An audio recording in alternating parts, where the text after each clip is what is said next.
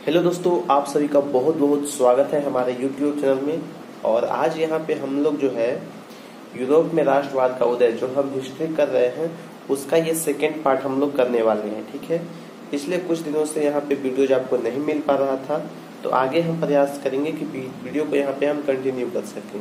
और आपका जो यहाँ पे शॉर्ट क्वेश्चन का जो सीरीज़ है, वो लगातार चल रहा है तो आप उसको भी जो है सो देखते रहिए और यहाँ पे जो है सो, ये जो सीरीज़ है, जो कि रेगुलर यहाँ पे क्लासेज आपका चल रहा है, इसको भी जो है सो देखिए, ये वीडियो जो है सो पार्ट बाय पार्ट यहाँ पे हम अवेलेबल करवाते हैं।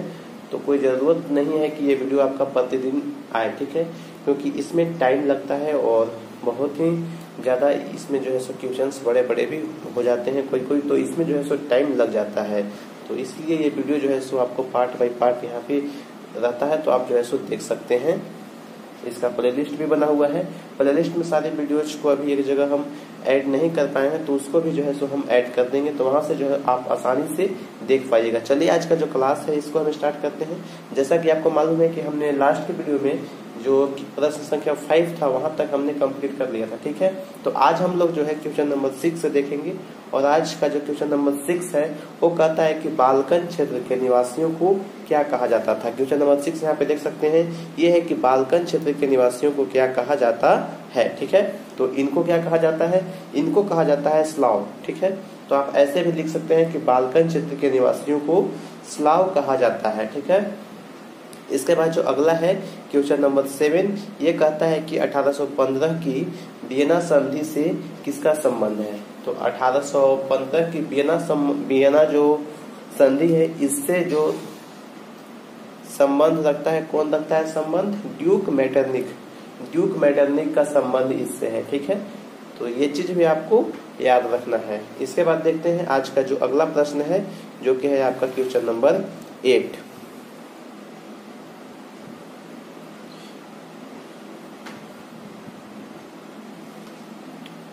Question number eight कहता है कि बियना कांग्रेस किस वर्ष आयोजित की गई? बियना कांग्रेस जो है सो किस वर्ष आयोजित की गई? ये चीज़ यहाँ पे पूछा गया है। तो ये आयोजित किया गया था 1815 ईस्वी में। इसके बाद आज का जो नाइन नंबर क्वेश्चन है, वो है कि आँखों पर पट्टी बांधे हुए और तराजू लिए हुए महिला किस बात का प्रतीक है? किस बात का प्रतीक है? तो ये प्रतीक है न्याय का, ठीक है? तो यहाँ पे नौ क्वेश्चन कंप्लीट हो गया। इसके बाद जो क्वेश्चन नंबर टेन है, ये है इटली का एकीकरण, ठीक है? और ये क्वेश्चन जो है सो काफ़ी ज़्यादा इम्पोर्टेंट भी है और काफ़ी ज़्यादा इसमें जो है सो टाइम भी लगेगा, ठीक है? तो जर्मनी का एकीकरण और इटली का एकीकरण, ठीक है? ये दोनों को हम अलग अलग और एक सेपरेट वीडियो में जो है सो इसको बताएँगे, ठीक है? तो इसको यहाँ पे अभी हम छोड़ दे रहे हैं। इसके बाद एक और क्वेश्चन देख लेते हैं, क्योंकि एक क्लास में हम देखते हैं टोटल एक दिन में फाइव क्वेश्चन तो आज हम देखते हैं अगला क्वेश्चन नंबर इलेवन देख लेते हैं, ठीक है? क्वेश्चन नंबर टेन पे यहाँ पे हम स्किप किए हैं। इसके साथ साथ जर्मनी का एकीकरण को भी जो है सो हम यहाँ पे स्किप कर दिए हैं। तो उसको भी जो है सो हम एक सेपरेट वीडियो में जो है सो कंप्लीट कर लेंगे, ठीक है? तो आइए देखते हैं आज का सबसे जो अंतिम प्रश्न है, क्वेश्चन नंबर जो इलेवन यहाँ पे है।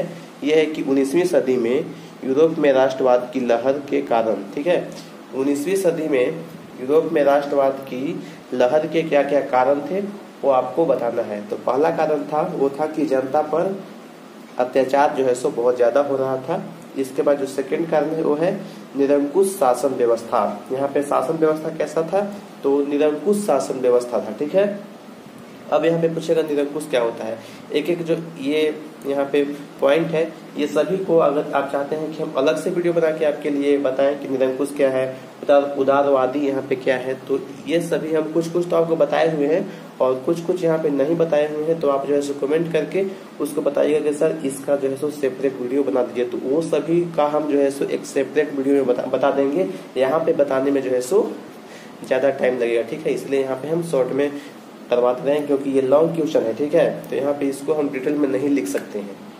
आगे देखते हैं, जो तीसरा है, वो आपका हो जाएगा उदारवादी विचारों का प्रसार, ठीक है? उदारवादी विचारों का प्रसार के वजह से भी जो है सो यहाँ पे राष्ट्रवाद का जो लहर है, वो यहाँ पे दौड़ गया था, ठीक है? इसके बाद जो चौथा है, वो आपका है स्वतंत्रता, समानता तथा बंधुत्व का नारा। यहाँ पे स्वतंत्रता का नारा और समानता और बंधुत्व का नारा। इसके वजह से भी लोगों में क्या हो गया था? राष्ट्र राष्ट्रवाद जो है सो जागृत हो गया था, ठीक है? इसके बाद जो सबसे अंतिम है, शिक्षित मध्य वर्ग की भूमिका। और यहाँ पे जो शिक्षित मध्य वर्ग के शिक्षित हो जाने से उनका भी जो है सो यहाँ पे महत्वपूर्ण भूमिका जो है सो राष्ट्रवाद, जो यूरोप में राष्ट्रवाद हुआ था, इसके लहर का जो है सो एक प्रमुख कारण ये भी है, ठीक है? मिडिल वर्ग का क्या? शिक्षित हो जाना, ठीक है? और इनकी भूमिका जो है सो बहुत ही ज़्यादा यहाँ पे महत्वपूर्ण थी। तो ये कुछ कारण थे जो कि 19वीं सदी में यूरोप में राष्ट्रवाद की लहर के कुछ प्रमुख कारण थे।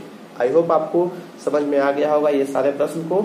और एक हमने वीडियो बनाया है जो कि है इटली में एकीकरण, ठीक है? इटली में एकीकरण से जो भी लघु तो ये प्रश्न पूछे जाते हैं या फिर आपके नॉलेज के व्यू से हम जब पढ़ाएँगे इटली का एकीकरण, ठीक है? तो वहाँ पे हम डिटेल में बताएँगे। तो वहाँ पे सारा कुछ तो हम बताएँगे। इसके अलावा एक सेपरेट वीडियो हम बना दिए हैं जो की लघु तो ये प्रश्न है, जो की हमारे यूट्यूब चैनल पे आ चुका है, ठीक है?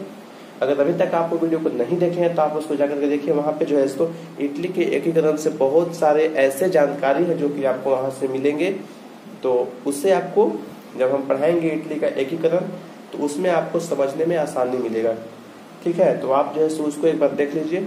उसके बाद हम इटली का एकीकरण एक डिटेल वीडियो लेकर के आने वाले हैं, जो कि कम से कम 15 से 20 मिनट का वीडियो होगा, जिसमें हम अच्छे तरीके से सारे कुछ को समझेंगे। आई होप आपको समझ में आ गया होगा। तो वीडियो को लाइक कर दीजिए और शेयर अवश्य कीजिएगा। अगर आप एक शेयर करते हैं तो इससे जो है सो हमें बहुत ही मोटिवेशन मिलता है और ऐसे ही और भी ढेरों वीडियो बताने का जो है सो हमें जो है सो मोटिवेशन मिलता है। और आपको बता दें कि ये जो हमारा चैनल है, ये जो है सो धीरे धीरे जो है सो आगे की ओर बढ़ रहा है आप लोगों के सपोर्ट की वजह से। तो आप लोग इसी तरह से जो है सो सपोर्ट करते रहिए और अभी तक इस चैनल को सब्सक्राइब नहीं किए हैं तो जल्दी से आप जो है सो इसको सब्सक्राइब कर दीजिए और वीडियो को जो है सो आपको प्रत्येक जो आपका स्टडी ग्रुप है जो कि इससे रिलेटेड है, आपके जैक बोर्ड क्लास टेंथ से संबंधित तो वहाँ तक जो है सो आप इसको पहुंचाइए, ठीक है? तो थैंक यू दोस्तों वीडियो देखने के लिए आपका बहुत बहुत धन्यवाद। आपका दिन शुभ हो। जय हिंद, जय भारत।